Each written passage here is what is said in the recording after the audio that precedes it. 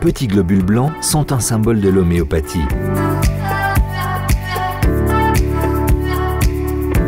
La forme de thérapie établie par le médecin allemand Samuel Hahnemann est basée sur le principe dit de similarité. Les matières premières de ces remèdes sont principalement des plantes, mais nous traitons également des minéraux ou des substances animales.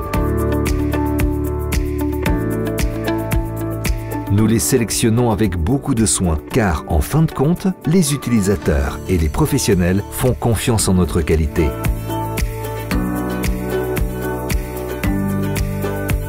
Lors de la production, les substances souvent très toxiques sont diluées au 1 dixième comme dilution D, soit à 1 centième comme dilution C et potentialisées. Après avoir broyé les matières premières avec du lactose dans un mortier traditionnel, les étapes suivantes de dilution et de potentialisation sont effectuées selon une méthode dite de multivers basée sur le modèle de Hahnemann. Bien entendu, toutes ces étapes se font manuellement. Ainsi, à chaque étape, une goutte de solution est ajoutée à 99 gouttes d'alcool dans la prochaine fiole qui sera agitée et potentialisée. Les billes de sucre blanc sont imprégnées de cette solution et conditionnées.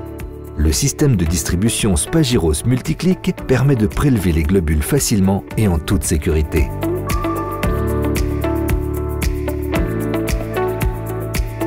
Les médicaments homéopathiques sous forme liquide sont présentés dans des pipettes, également très faciles à utiliser pour le dosage.